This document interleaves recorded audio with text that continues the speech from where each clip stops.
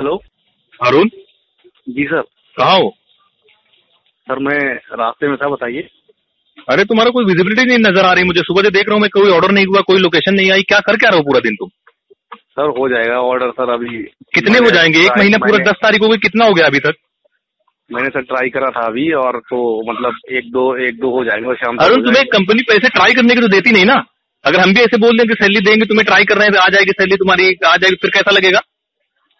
Sir salary पे ना बोलिए सर अब सैलरी सर क्या सैलरी तो महीने मिलती है बाद में उसमें क्या है? नहीं तो उसमें मैं मैं मेहनत तो मैं मेहनत तो कर रहा हूँ ना। मेहनत करने का पैसा नहीं देता ना तुम गड्ढा को तो अगर उसमें से पानी न निकले तो फिर तुम्हें कोई कुआँ खोदने का पैसा देगा क्या? गड्ढा खोदेंगे तो आप कैसी सर बातें कर रहे हैं बताइए। ऐसा थोड़ी ना होता सर मैं मेहनत कर रहा हूँ आज कितने लोगों से मीटिंग हुई तुम्हारी? हाँ सर मीटिंग मेरी सात लोगों से हुई है। कितना? सात सात लोगों से हुई सुबह दस बजे से निकले हो तुम नाश्ता करके ऑफ़िस से उसके बाद सिर्फ़ सात लोगों से मीटिंग कर पाए आठ घंटे में?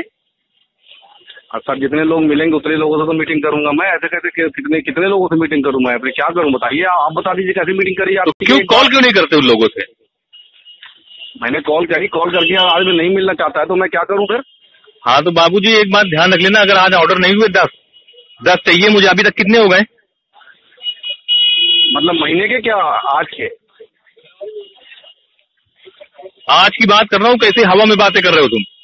मैं आज की आज आज एक ऑर्डर हुआ है वो एक ऑर्डर हुआ है अभी तक। तो नौ बाकी अभी हो जाएगा ना अभी दो घंटे में? सर दो घंटे में नहीं हो पाएगा। एक ऑर्डर दिन में पूरा एक ही ऑर्डर होता है, कैसे हो तो जाएगा? कंपनी में नहीं रहोगे बाबूजी? अगर आज से नहीं रहोगे तो सिस्टम में नहीं रह पाओगे तुम।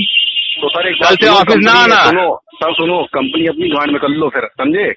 भोसड़ी गांड मार रखी थी दौड़ा दौड़ा के।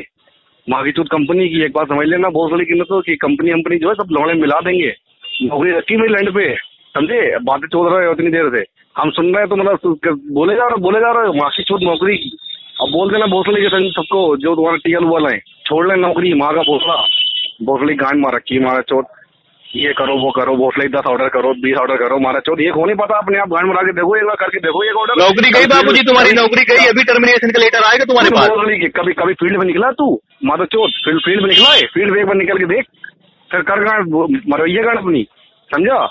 फ़ोन न कर देना बहुत बड़ी वो गांड फाड़ देंगे तुम्हारी वो सबकी वहाँ की चुट नौकरी बहुत बड़ी के रख नौकरी अपनी गांड में।